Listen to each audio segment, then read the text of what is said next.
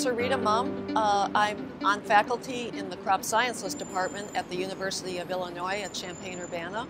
And my role in the Feed the Future Soybean Innovation Lab is uh, that I'm the education and training lead. So the role of education and training with the Feed the Future Soybean Innovation Lab is to really look at the sustainability and uh, having a very lasting impact of this project far beyond uh, the, the close of the project. So uh, we're looking at training the next generation of plant breeders uh, and we're looking at enhancing the skills of the plant breeders that are currently working on the project. The University of Illinois, uh, in the middle of the last decade, was looking, uh, along with a number of other institutions, at this very serious problem of a shortage of plant breeders in the United States and around the world. Uh, looking at the tra trajectory and the potential consequences of not dealing with this shortage uh, caused the University of Illinois to establish the Illinois Plant Breeding Center. So this was uh, this center was established as a, a way to not only bring more young people into science, into agricultural science, and specifically into plant breeding, um, but also to increase the quality of the education that these young people would be getting, taking into account that the science is moving very, very fast in plant breeding. Technology innovations are coming very quickly. And so incorporating those and ways to um, uh, have the students think very creatively about new applications in the future has been a goal of the Illinois Plant Breeding Center. Well, just as there's a shortage of plant breeders in the United States, there's a shortage of plant breeders around the world. And the education um, portion of the Feed the Future Soybean Innovation Lab is seeking to put a master's degree program in plant breeding in place at the University of Ghana.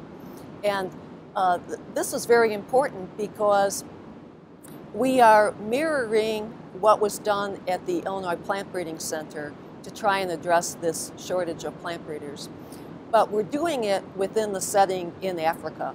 So the, the point with this is to train young people in Africa for the profession of plant breeding um, with the hopes that they will decide to practice their profession uh, in their own country in the future to help uh, educate plant breeders in Africa, we're partnering with the uh, University of Ghana and the Western African uh, Center for Crop Improvement, um, which is very similar to uh, the Illinois Plant Breeding Center and its relationship with the University of Illinois. So um, they're focused on uh, uh, training plant breeders. They have an excellent PhD program in place uh, that resulted from a partnership with Cornell University. And now through the Feed the Future Soybean Innovation Lab, we are partnering uh, with the University of Ghana to put a master's degree program in plant breeding in place. This would give a whole educational pathway going from BS to master's to PhD in plant breeding and uh, make it one of the premier programs on the continent of Africa. So very quality uh, curriculum. Uh, we are helping to um, put together content for six core courses that would be a key part of the MS uh, core curriculum. And, um, uh, and then we're transferring these, uh, this content of courses and the delivery to faculty that are on site at the University of Ghana. Two very bright new faculty have just been hired uh, with some funding from the European Commission. So um, uh, the University of Ghana is well positioned to get this MS degree program in plant breeding off the ground and off to a great start. And part of uh, what we're doing to help the University of Ghana to establish this master's program in plant breeding is we're, we're also uh, putting together a channel to bring master's students over to the U.S. for an internship, a three to six month internship. And this would give them a chance to interface with seed companies in, in the U.S., see the scale of plant breeding within an industrial setting, see the applications of, of technologies in an industrial setting, um, with the thought that uh, this will help students to look very creatively at how they can apply new technologies in their own program in the future. This is something that we've made a core part of the Illinois Plant Breeding Center.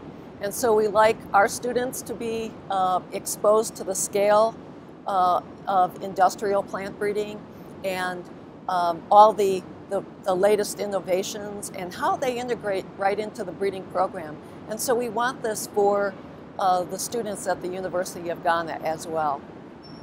The Tropical Soybean Development Workshop is, um, is is really interesting to me because all the partners in this very vast project will be here um, in Washington, D.C. So um, I'm a plant breeder by training uh, and an educator, uh, and it's very interesting for me to see all the pieces that go into place to create a whole value chain for soybean in Africa. So our partners TechnoServe um, and Catholic Relief Services will be here. Um, It'll be uh, great to visit with them. I'm also really interested to hear about uh, the applications of GPS data for African um, uh, farmers. So in the United States, it's, it's a huge trend uh, that uh, farmers are getting on the spot, on the minute, uh, delivery of information that's relevant to their fields, to their crop, to the sale of their crop, the inputs for their crop, and now to see that this is being made uh, tailored for Africa and made available to farmers in Africa. I'm really interested to see how that will, uh, how that's being rolled out. So we've looked at um, trying to make this partnership to establish a master's degree program in plant breeding at the University of Ghana. We, we've looked at it from the point of making it scalable. So um, um, anyone who's interested in a, in a quality program in plant breeding training for the next generation of uh, plant breeders should indeed call us if they're interested.